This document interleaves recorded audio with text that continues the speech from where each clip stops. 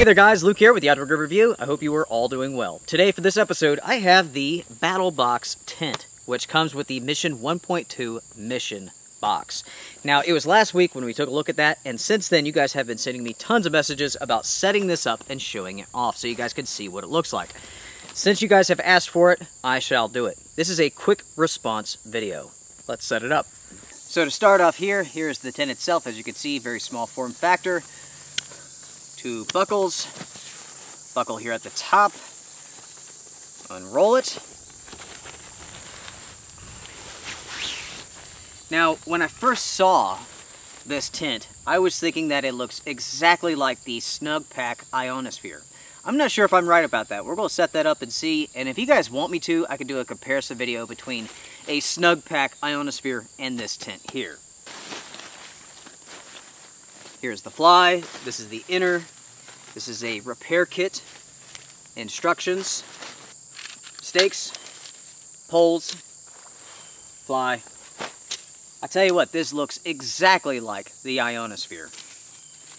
So you have two poles, one big one, one smaller one. I believe the foot box is over here. The top is over here. There's a nice sleeve here for the pole to go through. The pole sleeves are color coded so you know exactly which pole goes where. That is a nice touch. This is not a freestanding tent, so you will have to stake it out. Okay.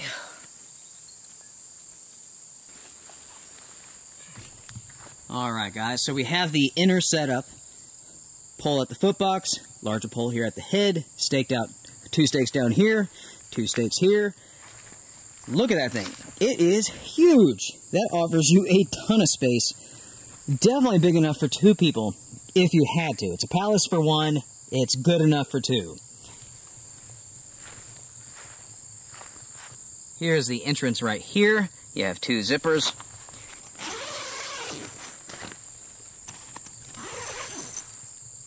So, yeah, that opens up pretty darn wide.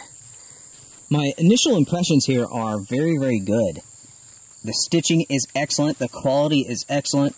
The mesh here is really, really tight. Nothing's going to get through. Yeah, I'm very, very impressed so far. As you can see, I'm inside of this now so you guys can get an idea of just how big it is. I can scoot to one side here. And it's definitely big enough for somebody else to sleep next to me. Maybe my dog, I can have my pack. I, I can have more gear. My feet are pretty much down at the bottom.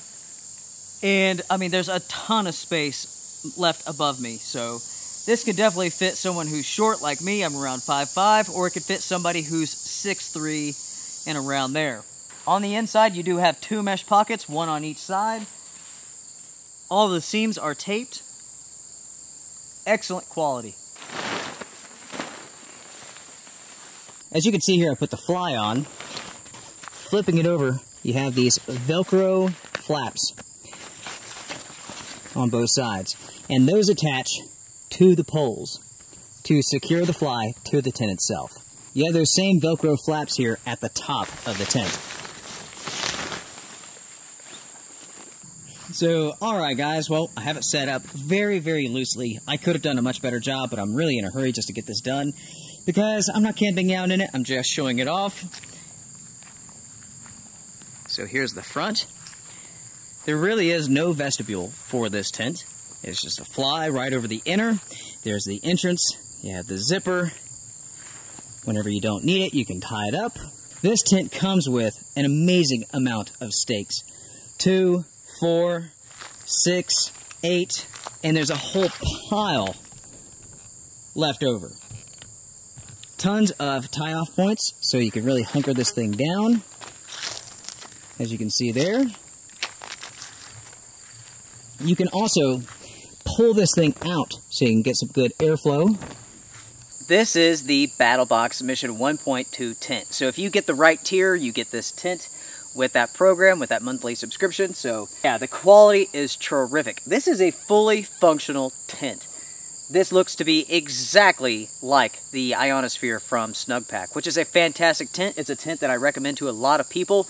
It's low profile, it's also very strong, it's good for the summer.